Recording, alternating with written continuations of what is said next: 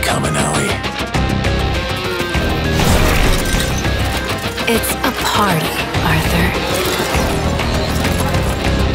Of course not.